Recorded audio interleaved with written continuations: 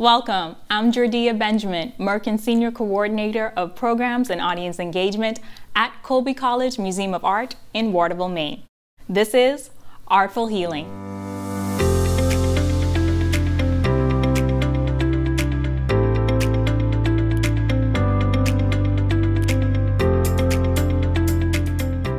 Artful Healing is a part of the museum's wellness initiative under the larger program Let Art Inspire. Our theme for the month has been Time to Celebrate, inspired by the work of Zanele Muholi, Namhla 1 at Castle House. We have viewed this work through the lens of yoga, meditation, and today we're here with healing, a creative hands on experience. Now, before we begin the activity portion of this program, let's first take a look at this work.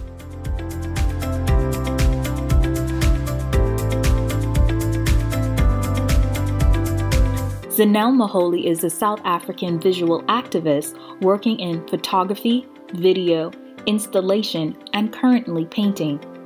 Muholi's work looks at the Black resistance, existence, as well as insistence, focusing exclusively on Black LGBTQIA and gender nonconforming individuals to ensure this community exists in the visual archive.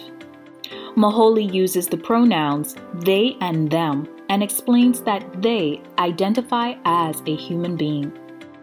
Zanele Muholi, Namhla 1, Castle House, Chapel Hill, North Carolina, 2016, is a part of the Somnyama Ngonyama series, which is Zulu for Hail the Black Lioness. Somnyama is their response to a number of ongoing racism and politics of exclusion. These portraits of self speaks to occupying public spaces to which black communities have been denied access. Somnyama is not only an archive of beautiful photographs, but as a means to bring forth political statements and affirmations Muholi faces and phases that they conjure not only bear witness to their own experience, but also the persistence and insistence on making a claim for humanity. The majority of the photographs in Somnyama Ngonyama are based on personal experiences, archiving their travels in America, Europe, and Africa. In Namhla, Muholi is archiving their experience in North Carolina.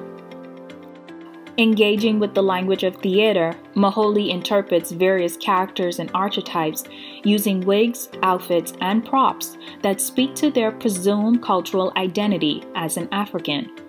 By enhancing their dark skin and sometimes lightening their lips, they have enhanced their physical features in an assertion of their black identity, forcing the viewer to question their role in gazing at them along with emphasizing the literal sense of contrast. Now, let's turn it over to our partner, Bodhi Simpson, a licensed art therapist who will lead us in this program.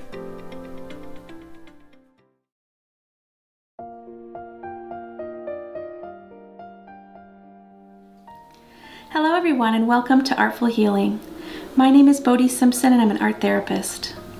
As an art therapist, one of my roles is to assist people in bringing in new awarenesses and new perspectives into their lives so they can rise above their challenges and see the larger picture. The art that we create can become a visual meditation that truly allows us to bring in new perspectives and new awarenesses. Today I'm going to be guiding you in a creative practice called celebration weaving. I'm going to teach you how to use the creative process to really bring your attention to what it is you'd like to be celebrating, and then learn how to consciously weave these new perspectives together. Today's practice also reminds us of the importance of creating space not only to celebrate ourselves and the unique gifts that we have to offer the world, but also to celebrate all of life and everything that we're grateful for. Before we begin today, let's just take a moment, put your feet flat on the floor, place your hands over your heart space, and we're just going to take a few deep breaths in and out together. And what we're doing is really taking a moment to open our hearts to the experience of celebration and all that it has to offer us. Today's offer is not a substitute for therapy. If something comes up for you that's in need of deeper healing, please seek the support of a compassionate friend, family member, or therapist. And because today's offering is recorded, please feel free to pause the video at any time and then resume the video when you're ready to continue in your creative practices. To prepare, it's important that you find a safe, quiet space where you can create and possibly leave your creation out as you finish it over time. Consider setting up a sanctuary at home that you visit each time you engage in your creative meditative practices. This would be a place where you can relax and focus, where you silence your cell phone, and be sure that you'll be uninterrupted for at least the next 30 minutes. While you're creating, trust what feels right for you. There's no right or wrong in this process. You may end with a creation that you're proud of and that you would like to hang in your space, but it's most important to remember that the process and the experience while creating is most important. Allow yourself to let go of how this should look and allow it to come together and take shape as you follow your own sense of beauty. I'm going to ask now that you mindfully gather your materials. Today's recommended materials are 8.5 by 11 or 11 by 14 watercolor paper, watercolor paints, a paintbrush, a cup of water, a paper towel, acrylic paints. Today I'm recommending white, yellow, and gold, a roll of masking tape, scissors or a paper cutter, a pencil, and Elmer's or craft glue. Remember that you can modify the materials to fit what you have at home or choose other materials that may inspire you. Next, you're going to take out your watercolor paper and your pencil. You'll be covering this paper with all that you would like to celebrate. It doesn't matter if what you write is legible or in straight lines. The most important is that what you write is from your heart. As you write, you might consider what do I appreciate about myself? What are my strengths? What gifts do I offer the world? What makes me special and unique? What gives my life meaning and purpose? I'm going to ask that when you do write these, you write them as though they are mantras or positive affirmations. And you can practice feeling them as you write. So you might write something like, um, I celebrate my strength. Or you might write something like, I am loved. Sometimes it can be hard to think about what strengths you have or what's good about you. So um, it can be helpful to imagine what strengths you would like to grow into. And as you write them out, just imagine that you're already feeling these things. So if you want to feel confident, for instance, but you don't feel that you are confident, you could write something like, I celebrate my confidence. You could practice feeling that or holding the possibility that that could be something you could be feeling as you're writing it. And um, you can also expand and begin to add other gratitudes, such as what excites you. You know, really thinking about what do you most appreciate, and enjoy about life? And where do you find beauty and joy? And also, who do you love and who do you appreciate? Really, what do you most appreciate about life? And it could be the simple things like lately I've been thinking about celebrating the light of the rising sun on the horizon.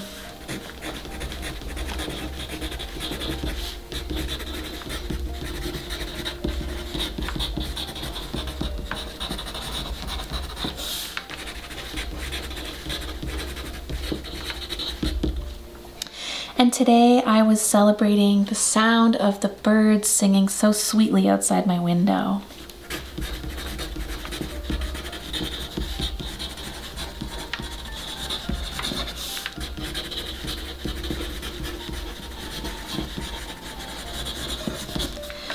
Again, it's okay if this is not legible. We're actually going to transform it in a few moments.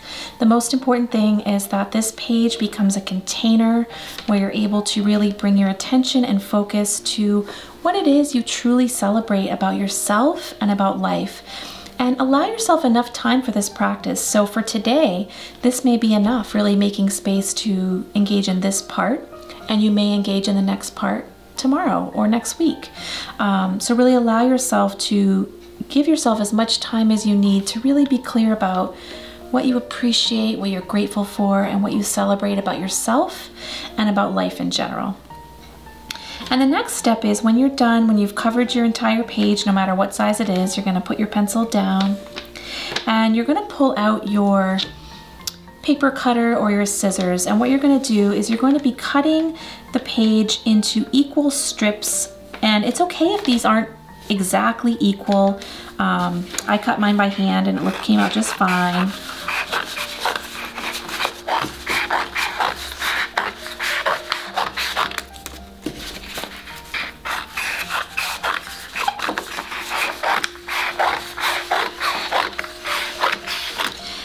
Cut your paper into strips, really allowing this in itself to be a mindfulness practice and really breathing into um, the possibility of weaving in new perspectives in your life. And once you have completed cutting your entire page, what you're going to do next is you are going to lay out your strips. And what I'm doing is I chose to use nine strips horizontally and I'm gonna use nine strips vertically. You can really decide how many you would like to use.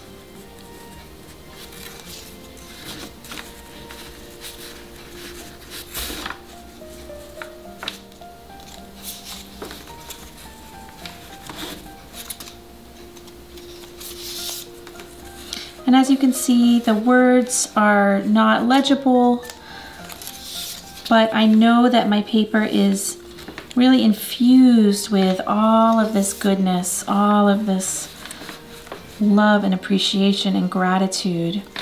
And once you've laid out about half of your strips, or however many you'd like to use, you're gonna get out your masking tape and you're just gonna tape down the top. it's okay if there's some spaces, you know, this doesn't have to be perfect it's up to you, you know, how much time and detail you take to getting this the way that you like it. And so what you're gonna do is once you have this taped, is you're gonna take the other strips that you have and you're gonna begin to weave in. And as you're weaving, again, just bringing mindfulness and awareness to celebrating. And what you do is you go over and under every other strip of paper and then move it up.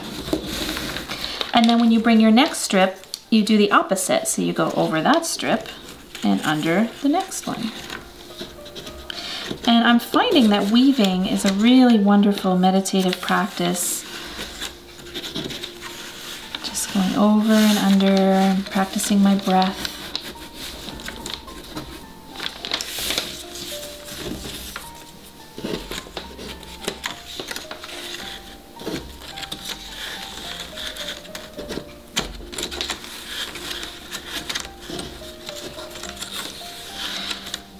And there's really no need to rush this. You can really just enjoy weaving in all these celebrations.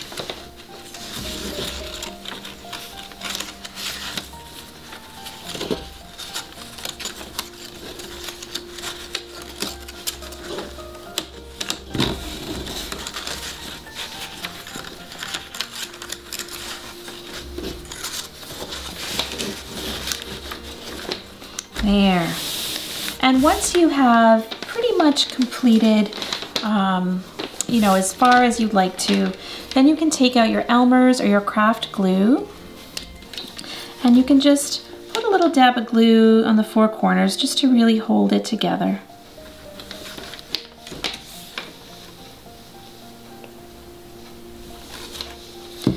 You can take off your tape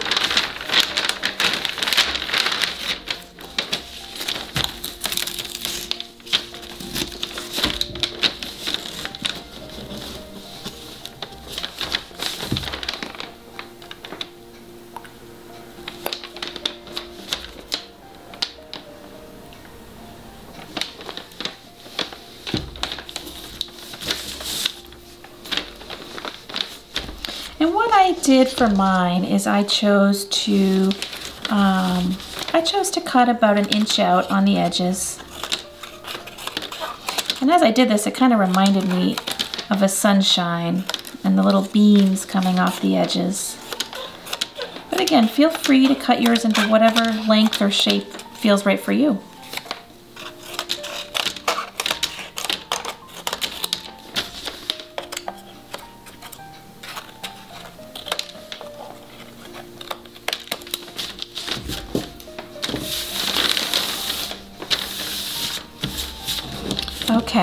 So for yours, if you're doing this at home on your table, you'll probably want to put a piece of paper underneath.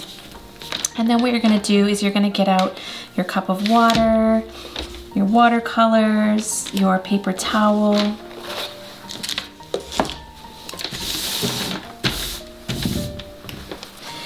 And at this point, you can wet your colors that really resonate for you with celebration. So there's no right or wrong colors. Um, it's truly whatever feels like celebration to you. And for me, I'm really focusing on the warm yellows and oranges of the sun today. Um, so I'm going to be using those colors. But, but what I'd like you to do is again, practicing breathing in these vibrant colors of celebration as you're bringing this new tapestry, this new perspective to life. Really bringing in the light and illuminating.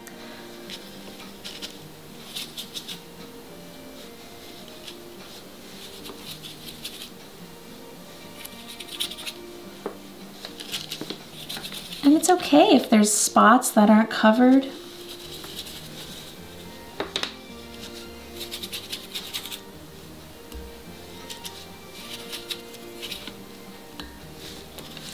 fun with it and be playful.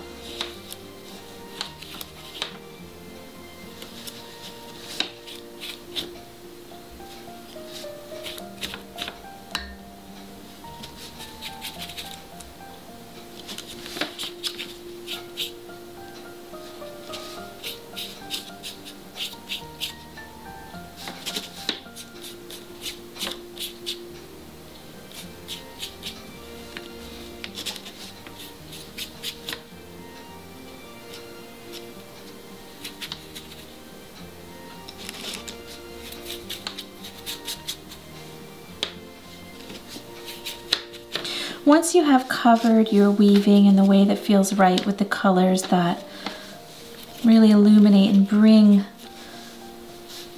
all that you celebrate to life.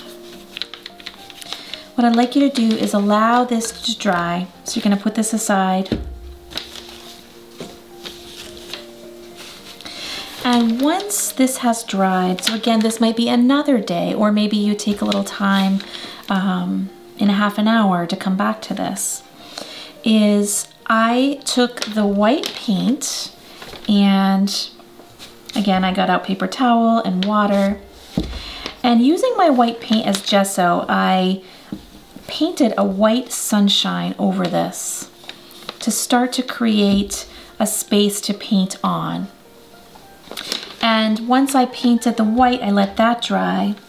And that's when I got out my golds and my yellows and I really embellished my sunshine with vibrant bright acrylic paints And I really was inspired to also mention that, you know, you could use glitter, you could use gems, really allow yourself to um, bring this sense of celebration and illumination to your weaving in whatever way feels right.